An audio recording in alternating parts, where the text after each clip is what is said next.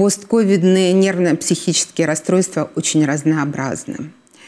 А, во-первых, я уже сказала, что когда люди заболевают ковидом, а, вирус ковида очень нейротоксичен и влияет на нервную систему с первых дней заболевания, с первых часов заболевания.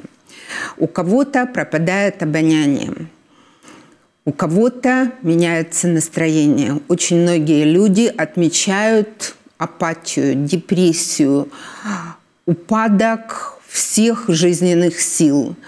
Очень многие люди плачут, страдают от того, что совершенно не верят в свое выздоровление, отмечают тяжелую депрессию, не хотят никого видеть. У примерно 10% людей возникают психозы. А, психозы усугубляются тем, что при э, лечении ковида применяются гормоны. К сожалению, гормоны тоже вызывают психозы.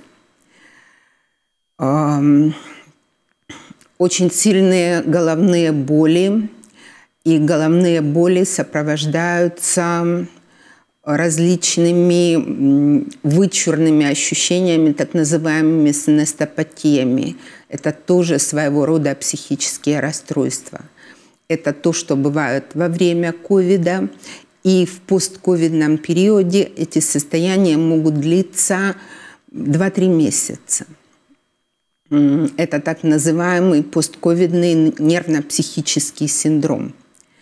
А, вот этот постковидный синдром лечат врачи-психиатры. У нас было очень много пациентов. Мы собрали, по-моему, на сегодняшний день около 120 пациентов, которые, вот данные этих пациентов мы статистически обработали и сейчас делаем научную работу.